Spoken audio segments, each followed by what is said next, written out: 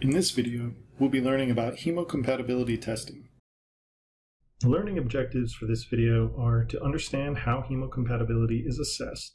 So we'll be talking about experimental setups and methods for testing hemocompatibility in vitro. We'll also be talking about the approaches and methods for testing hemocompatibility ex vivo and in vivo, and specifically when to perform ex vivo and in vivo testing, which depends on the specific device. The other learning objective is to recognize the importance of ISO 10993-4 in hemocompatibility testing.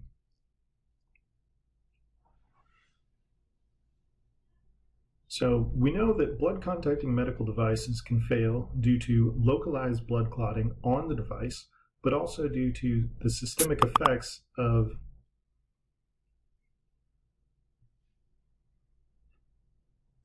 As we've discussed previously, blood contacting medical devices can fail due to localized blood clotting on the device or due to systemic effects of device mediated coagulation, for example, due to thrombus embolization, in which a piece of the clot breaks off and then travels to a distal organ.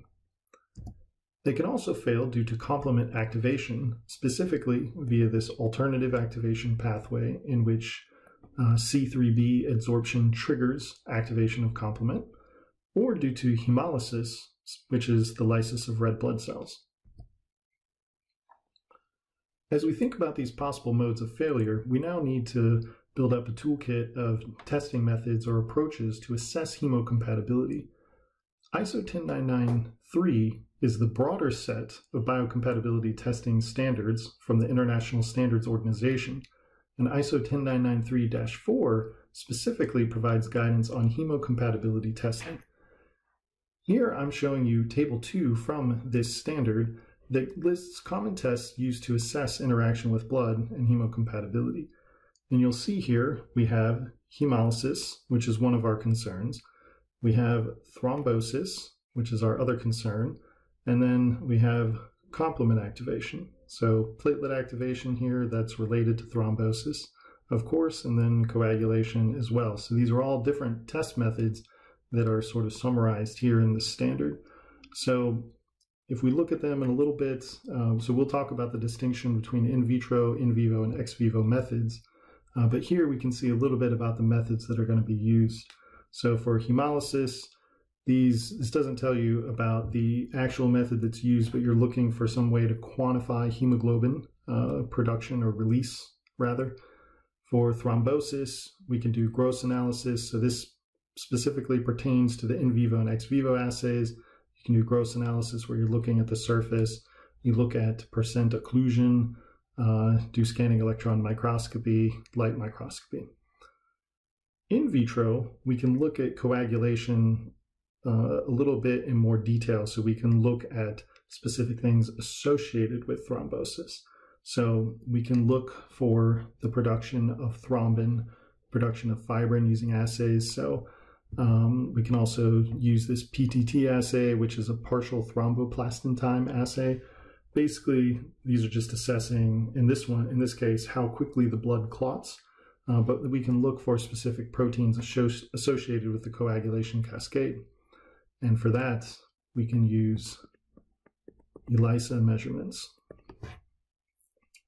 we can also use ELISA measurements to look for complement activation so looking for specific proteins associated with the complement cascade and then for platelet activation, we can look for uh, release products coming from activated platelets. So again, ELISAs can be used for that. Or we can look at platelet attachment. So we can do that with microscopy. Scanning electron microscopy is a good tool for that. And then we can look at platelet morphology because we know that their morphology changes when they become activated. So they go from that discoid morphology to the really uh, irregular shaped morphology where they uh, after they contract. So in the grand scheme of device development, you know, we have this spectrum that goes from in vitro testing to animal testing to clinical trials. And as we've talked about previously in class, so biomaterial selection has typically been driven by the choice of the most inert and least toxic materials that have the most appropriate mechanical properties. And with this in mind, in vitro testing, its role is to tell us if a material is inert or toxic. So, in the context of hemocompatibility testing, that's what we're going to think about in terms of inertness. Like, is there activation of the coagulation cascade of complement? Is there platelet adhesion, etc.? So now let's dive into the in vitro testing methods a little bit. So in vitro blood exposure models, they're attractive um, for a variety of reasons, which are summarized here. So one reason is cost. It's much cheaper than doing everything in an animal model. But also, we have high reproducibility. Uh, and so you can really control the system very well in vitro. Um, so you can have this high replication testing of your test object. So that's the device uh, that you're testing against controls and reference materials using the same batch of blood at the same time. And why that's important is because there can be some variability um, in in the blood depending on you know when it was collected. Even if you're using human blood, the person that it was from, there's a little bit of variability in the uh, the amount of proteins that are present uh, and associated with the coagulation cascade, and the um, also the age of the blood can affect um, platelet activation and things. Also, uh, the flow, temperature, and anticoagulation in particular has to be standardized. So in the last video, we showed the effects of citrate on blood uh, with that video on the chicken blood. But anytime we're collecting blood to use in in vitro hemocompatibility tests, we have to anticoagulate it with citrate or something else. And that protocol has to be standardized, otherwise there's going to be variability in how well the blood can clot. In vitro testing also represents kind of a worst case scenario testing because there's no clearance by other organs in this system. So it's kind of, it's just closed in the in vitro environment. Uh, so you're going to get more accumulation of things. Uh, so there's going to be more susceptibility to uh, thrombosis, for example.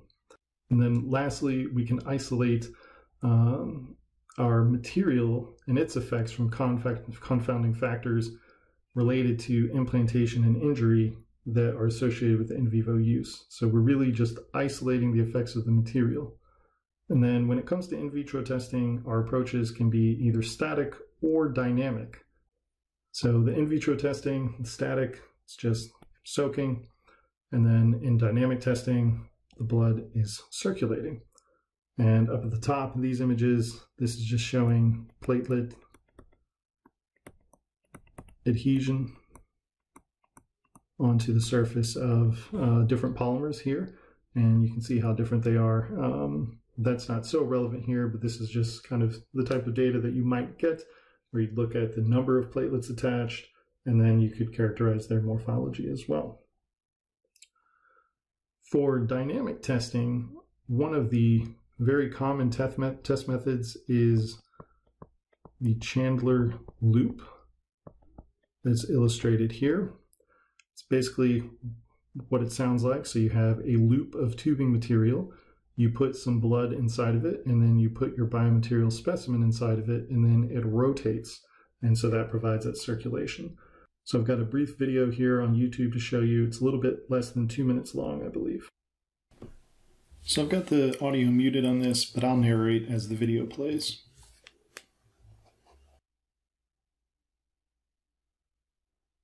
Course, you have to have fresh blood. You have the suitable tubing that you're going to put the blood in. And then this is, they're showing how they're going to cut the tubing. Um,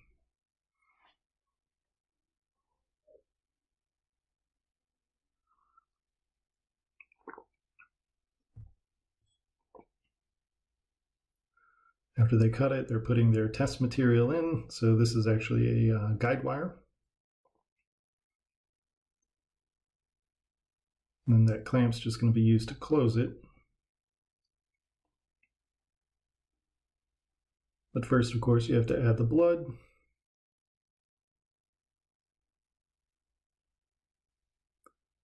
And they clamp it shut.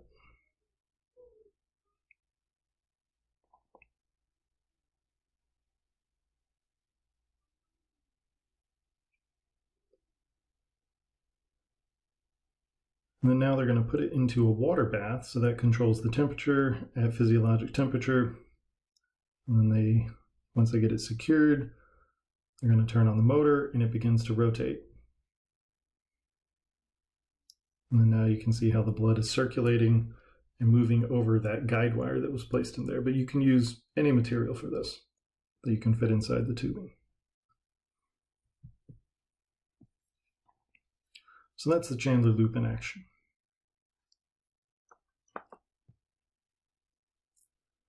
So when we're doing in vitro testing for hemocompatibility, the following questions can be answered. So do platelets adhere and become activated? And to assess this, we're going to have to image our surface. So we could use light microscopy or scanning electron microscopy. And then we're going to quantify the number and the shape of platelets. We can also measure the release of the granule contents. So we previously learned about the, the different granules that platelets contain, and they release factors associated with the coagulation cascade. We can also ask, is thrombosis triggered or inhibited? Um, we're most concerned about the triggering, of course, because we don't want thrombosis on our device. And for this, we can measure the clotting time. So that would be done with, for example, that partial, partial thromboplastin time assay that was on the previous slide. So clotting time assay is similar to what we showed in the previous lecture when we were looking at uh, coagulation activated via the intrinsic pathway. And if we were to look at this, we can just look for coagulation. So again, this can be done imaging based uh, to assess if there's you know, thrombosis. To answer, we can also answer is complement activated, and again we're measuring, so looking for these complement factors, see if there are any being produced. And then finally, are red blood cells being lysed? In this case, we're looking for hemoglobin that would be released. In vitro testing, again, will tell us only if the materials inert or toxic. If we really want to assess performance, we have to do device testing. And so for this, our goal is to predict whether a medical device presents potential harm to the patient or another way of putting that would be risk. And we have to do that by evaluating it under conditions that simulate clinical use. So, so that's very important. And that's going to be also our distinction between ex vivo and in vivo testing. So in vitro testing is simple and cheap, but it only provides limited assessment. So we're usually going to have to go to ex vivo and in vivo testing to really prove that it doesn't pose a risk. This is another table from ISO 10993-4. Contains a lot of information, I know, uh, but this is kind of recommendations for the categories of appropriate testing that should be considered for different devices. And it breaks them up into external communicating devices and implant devices. So uh, here you can see we have our hemolysis again, we have our thrombosis assays, looking at coagulation, platelets, and complement. We haven't really talked about the hematology assays where we're looking at the um, leukocyte activation, uh, but that's something else that is done. Um, and then we have in vivo and ex vivo testing, and you can see that in many cases that is recommended. All these ones down here where there's an X, we have to go to this animal testing. All right, well, what do we mean by external communicating device anyway? So an external communicating device is one that contacts circulating blood and it serves as a conduit into the vascular system. So in other words, it's taking blood or blood is going from in the body outside the body into this device and then back into the body. So examples of this would be cardiopulmonary bypass machines or heart-lung machines, extracorporeal membrane oxygenators or ECMO machines, and then hemodialysis machines. In contrast, implant devices are placed largely or entirely within the vascular system. So these are things like heart valves, vascular grafts, stents, etc. So if we think about these types of devices and the important point that our testing should replicate the clinical scenario or the clinical use, then an ex vivo test system um, is going to be important for these external communicating devices. So by ex vivo, we mean one that shunts blood directly from a subject, either a human or an animal, into a test chamber that's located outside the body, and then it comes back in. And I'll show you a diagram of that in a bit. Whereas an in vivo test system involves implantation. So ex vivo tests are performed for the external communicating devices, and in vivo tests are performed for implant devices. Last important point when we're doing this testing, we should be testing the complete sterilized device or device component. Another way of saying that is the final device. So a lot of times in uh, medical device development, you'll hear people talk about a design lock where they're not going to make any more changes. So that's what they mean, like it's the final device. So devices, again, whose intended use is ex vivo, got to be tested ex vivo. If they're intended to be implanted, got to be tested in vivo. And then the animal model that is used should simulate as closely as possible the conditions of clinical use. So you have to take that into consideration. Also, if we're thinking about testing a final device, the animal must be large enough uh, so it must be able to uh, accommodate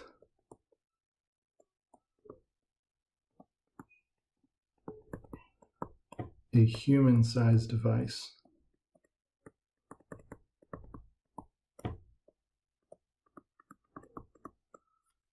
So that kind of restricts the animals that we can use. Like if you're going to test for example, a vascular assist device. You can't test that in a rat. You got to use a much larger animal, probably a sheep or something like that.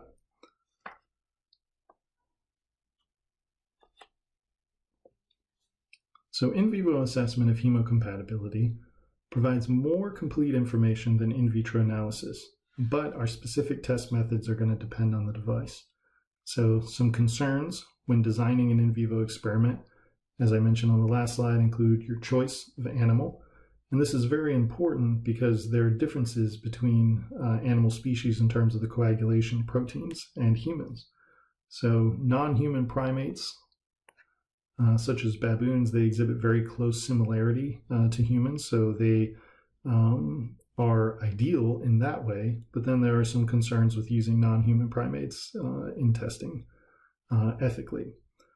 Dogs are commonly used in uh, cardiovascular device testing, and they do provide useful information. But a note is that device related thrombosis in dogs tends to occur more readily than in humans.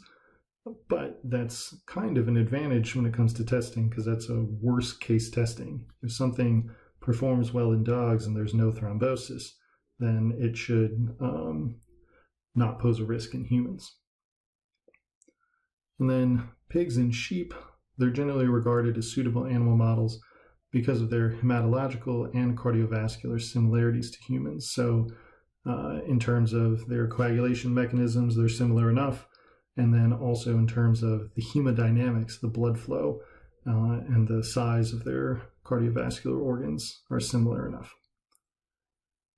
Aside from choice of animal, the length of the study and the choice of time points are important. Um, that's going to depend on the device. Uh, and then whenever we're designing experiments, we have to include the proper control materials.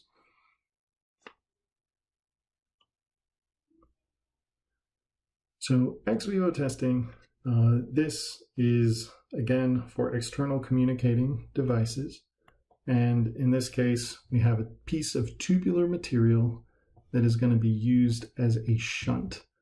Uh, so that's what's being illustrated in this figure down here. So you have your test material. So it's a piece of tubing and then it is connected to an artery and then connected to a vein. And so the blood flow will pass through this test material and then uh, after it exits the artery through the material and then back into the body via the vein.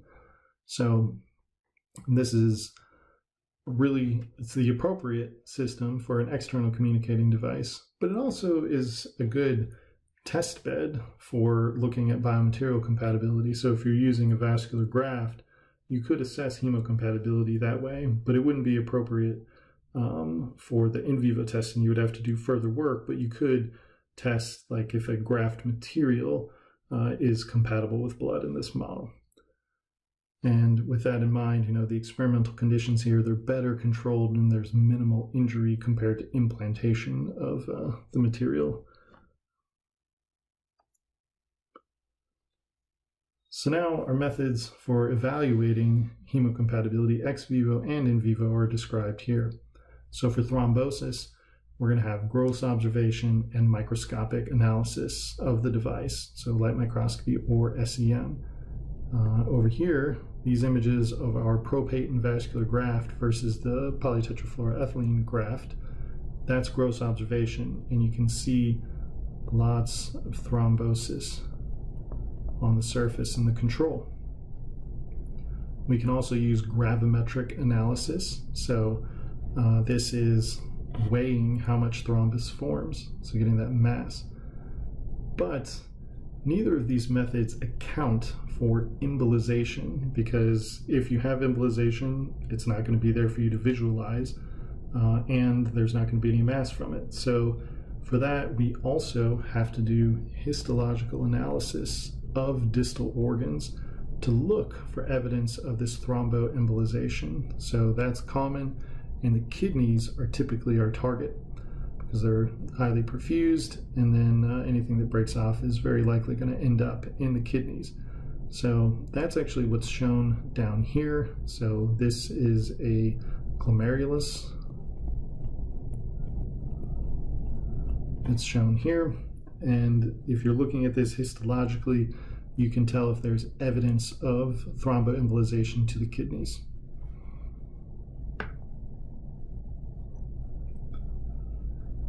You can also look for percent occlusion or patency. And if we go back to our studies on the Propaten vascular graft, that was what was done. If, you recall, patency was one of their metrics they were concerned with.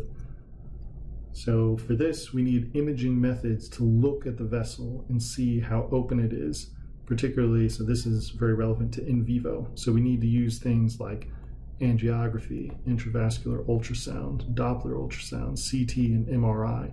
So all the things that you're learning about in your medical imaging class that could be applied to these experiments to assess occlusion and patency. Last, we have blood testing. So we can do hematology testing to look at cells, so platelets, leukocytes, and clotting time, those standard things. We can check for hemolysis, um, as in our in vitro experiments. We can look for factors specific to coagulation and then platelet and leukocyte activation. And then we can look for factors specific to complement activation. So we'll stop there, and next up we'll be doing some exercises to reinforce hemocompatibility testing methods.